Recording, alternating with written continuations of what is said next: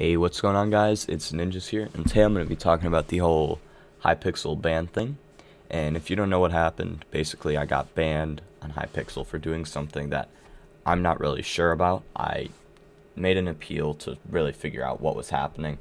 You know, that obviously won't get accepted or denied for a little while now, so we're not too sure about that. It's kind of frustrating though, because I bought a rank monthly just to get banned for a month, so I lose a whole month of my rank. You know, I can't really live stream Minecraft Hypixel for a month. I'm going to talk about what I think happened and, you know, what could have happened and what I did wrong. Basically, I got banned for um, Hypixel for boosting my account to improve my stats. If you're wondering what that is, it's basically where you take an account and you get other people or other things to start making money on other accounts to make you money, which isn't allowed. But the thing is, is I didn't do that. What I did was, is my friend and I, we were talking about making a co-op because we realized the richest players have a co-op. So we're like, well, we want to make a co-op, so we did, and we started moving stuff over slowly but surely. And then we kind of took a break from it, and I was like, you know, I still want to just play on my solo account, so I did. But the other account was still making money, and I think that's where the biggest problem was, is since it was still making money, it still looked suspicious. Because I'd hop on there every now and then and sell stuff to the bazaar.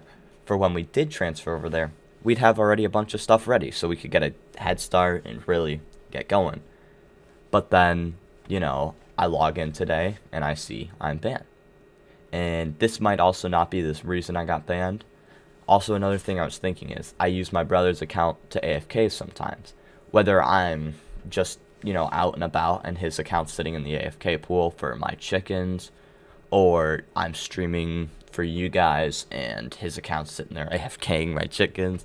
Now, not AFKing like it's killing the chickens AFK. Like it's just going in a loop-de-loop -loop in an AFK pool. So that way the chickens can spawn and die. Which it was how I made my money. That's how I made money, but I don't know if that's considered account boosting. And if it is, I do apologize. I would have realized what I did wrong, and I'm still somewhat confused on what I did wrong. Once I find out if I'm allowed to tell you guys, I will go ahead and tell you guys. But another thing I was thinking is me not advertising my stream, but saying, hey, we're doing private games. I'm streaming, you know, road to 200 subs.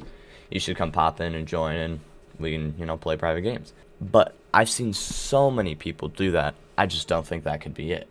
And I'm not sure if any of these things are what it is. I could have done something completely different, and I'm just going crazy.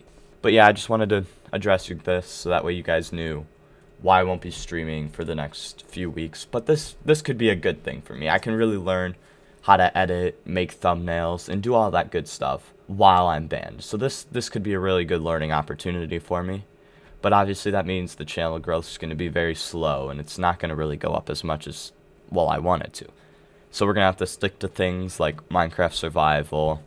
So we might do some more Minecraft survival streams. Um, Valorant, Rocket League, once I'm unbanned, we'll get back on there and really get the grind going again. But the annoying thing is, is this whole pandemic that's going on. I was really, you know, excited to get MVP plus plus and start grinding this out.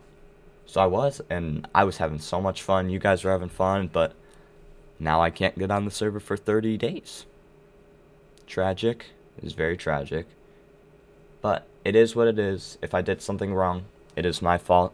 I take full responsibility for it, even if I really didn't do anything wrong. I take full responsibility for it. But yeah, I just wanted to tell you guys that, so that way you guys really knew what was going on. But quickly, before I go, I just want to talk about the giveaway that was at 250 subs before the end of this month, because we were on track for that. We were going to hit that, I guarantee it. But now that the Hypixel thing happened, it's not looking too likely.